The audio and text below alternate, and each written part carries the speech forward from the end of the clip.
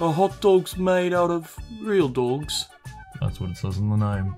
You, uh, don't have to eat it. But, but this dog died for me. It's okay. The dog died peacefully. Probably.